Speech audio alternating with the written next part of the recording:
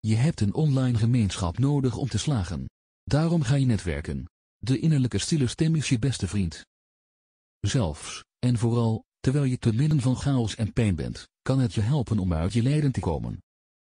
Er zijn veel redenen waarom we narcistische mishandeling hebben meegemaakt. Veel van die redenen waren buiten onze controle. De wereld zit vol met manipulatieve karakters die leven om hun eigen agenda te vervullen. Nu is het tijd om je lot terug in je handen te nemen. Er zijn verschillende online groepen te vinden op Facebook die volwassen kinderen van misbruik samenbrengen. Sommigen na de mishandeling willen niet langer in de buurt zijn met vreemden. Ze zijn veranderd als een introverte kluizenaar. Velen durven geen face-to-face gesprek aan met iemand anders. Liever netwerken ze online. Evenementen en netwerken. Naar evenementen gaan en online contact maken met mensen, wat we meestal netwerken noemen, is een levensveranderend advies dat ik ooit heb gekregen in zo'n beknopte, gemakkelijk te begrijpen, eenvoudig uit te voeren video. Ik presenteer hier opnieuw die video om het belang van community in te zien op onze website. Door verbinding kun je meer solidariteit organiseren. Verder kreeg je dan in de tekst ook een video te zien hoe je die community via Facebook kunt uitwerken.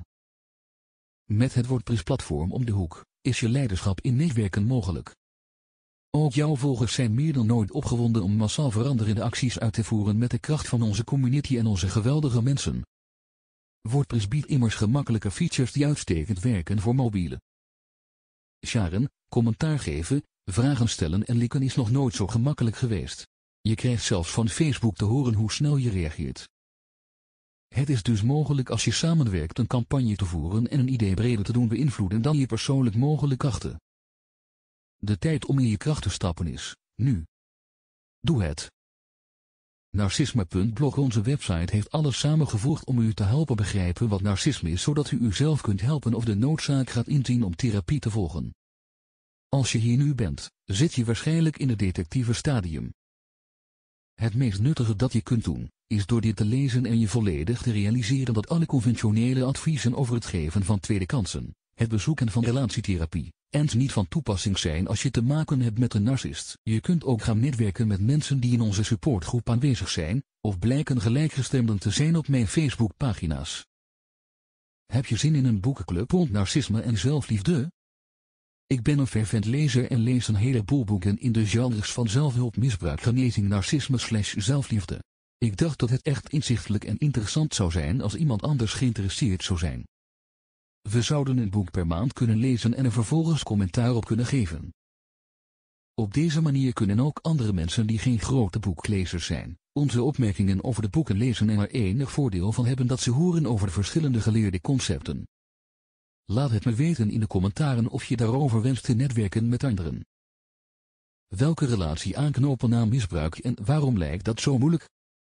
Eerlijk zijn tegenover onszelf na misbruik door een narcist is niet gemakkelijk. Een groot deel van het misbruik hebben we ontkend om het te kunnen uithouden. Daarnaast lijkt het een paar alle wereld voor iemand die het niet heeft meegemaakt. Zelf trouwens is het alsof je niet meer bestaat. Je zit al gedeeltelijk emotioneel vast en dien je tegen jezelf te vechten om door te gaan met je herstel van de emotionele verslaving. Omdat we wanhopig op zoek zijn naar een uitleg van de narcist, moeten we zelf de waarheid accepteren van wat we hebben meegemaakt en dat is zoveel ingewikkelder dan het klinkt. Je bent duidelijk op het goede pad want je bent nu hier, en probeert een eigen mening te vormen met deze informatie. Omdat de narcist een wandelende verzameling is van verwarring, woede, liefdesbombardementen en mishandeling zit je in zijn web, ben je verleid om een bron van narcistische levering te worden. Je denkt dat je de enige bent die zoiets ergs meemaakt. Je voelt je gek in je hart, ziel en hoofd. De buitenwereld lijkt vreemd. Niets brengt je op het idee dat er nog anderen zijn die dit nu meemaken? En dat precies het contact met hen een erkenning door herkenning zal betekenen. Ditmaal geen fake harmonie, maar door het contact met een ander slachtoffer van narcisme, zal je snel ontdekken dat deze personen te vertrouwen zijn. Evenwel ga je een echte bevrijdende band opbouwen als je ook elk zelfbedrog kunt vermijden? Zolang je niet volledig bent hersteld brengt elke nieuwe intieme relatie je terug in de gevarenzone.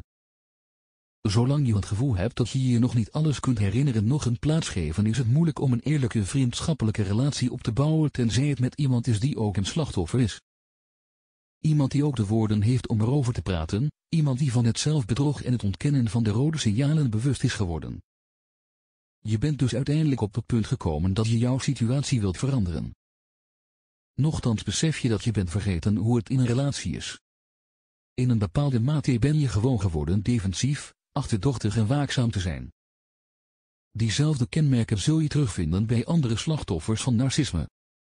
Maar ook deze personen vermijden intieme verbindingen om zichzelf te beschermen. Als je van elkaar weet dat je beiden slachtoffer bent geweest en contact zoekt om uit je isolement te treden en niet voor intieme relaties zal dat elkaar echt helpen in het herstellen van het vertrouwen in jezelf. Laat je innerlijke kracht los en laat je wapens sluiten en de wereld veranderen. Eén persoon per keer waarmee je gaat netwerken.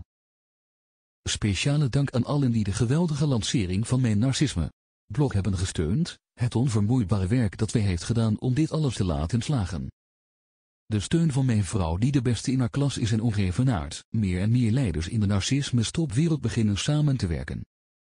Moeten we trouwens hier niet het voorbeeld in geven? Als je het ze echter vroeg, waarom? Zouden ze zeggen. Het is allemaal de moeite waard, de inspanning vanwege een positieve impact op het leven van de mensen en ze hebben gelijk dat ze netwerken. Doe met ons mee. Volg ons.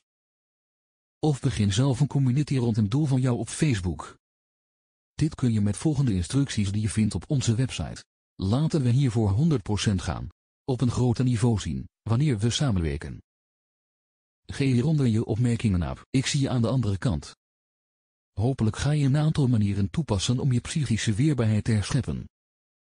Als je nog meer suggesties hebt, hoor ik ze graag.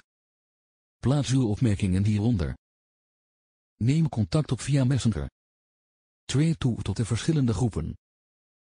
Johan Persin. We wensen je veel succes. Vergeet niet deze video een duim te geven en dit kanaal te onderschrijven.